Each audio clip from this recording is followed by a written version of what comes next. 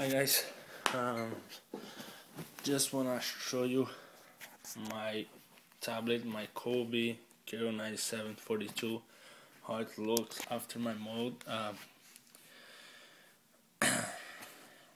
as you can see, now I have Google Play, the Play Store. It's full functional.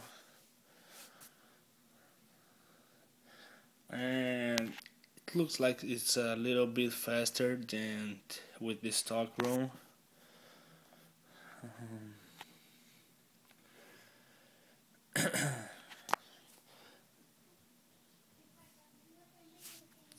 everything functional. Um, the camera,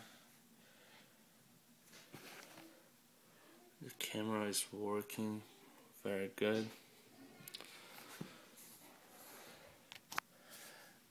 When I uh, I installed a custom custom ROM, I had I had problem with the touchscreen was uh, inverted axis and the camera wasn't working, but I I fixed it. So if anybody has this uh, had the same problem and can fix it, uh, if I have uh, like many people asking to make a video, I can make a video and teach you how to do it. Alright, thank you.